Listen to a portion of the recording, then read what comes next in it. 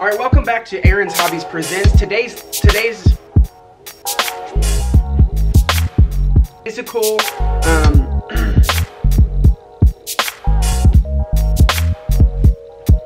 All right, welcome back to Aaron's Hobbies Presents. Today's teacher tip is going to be physical aspects of the classroom that help with behavior. These are things that are physically in the room or visuals that I use that help the classroom run smooth, quickly, and calmly. Let's check them out. Okay, so first off, I have my wiggle square. This is something in the room that allows kids to get up and wiggle if they need to. If I'm teaching a whole group and the kids are sitting, if this square is free, they can get up and they can come and they can wiggle and they can move and they can get all of their energy out. It's very important to have a space like this for your kids who just need to get up and move. I need to do that as a teacher whenever I'm in trainings or when I'm in uh, workshops. So I think it's important for the kids to have a place that they know it's okay to get their wiggles out. All right, so next up we've got the important question X. This is where the kids come when I am in stations teaching small group, doing very important intervention. This is the place that the kids come. They stand on the X and they raise their hand. If they need a question that the class genius can't answer or their team can't answer, this is where they come stand.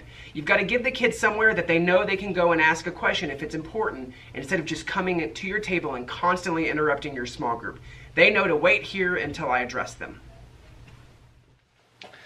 All right, so this is my who's out board. I've got a little clip right here with a marker and a sock. If the kids need to leave the room, they write their name on this board right here. That way, if somebody asks to leave, to go to the other bathroom, things like that, if I see a name on here, I know that somebody's already left. And if I'm doing my class count and I think I'm missing a kid, I can look on here to see who's gone out of the room. Helps me keep track of where they've gone and how many are out of the room.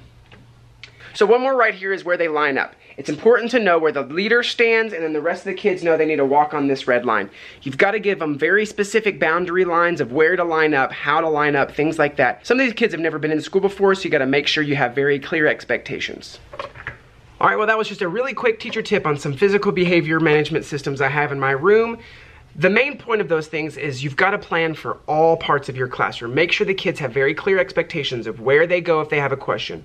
What do they do if they have a question? Where do they go if they need a wiggle? Those kind of things. Just plan ahead and think, what are the issues I have and what are some things I can put in place in my classroom that help with behavior management? Thanks for tuning in, and I'll see you next time.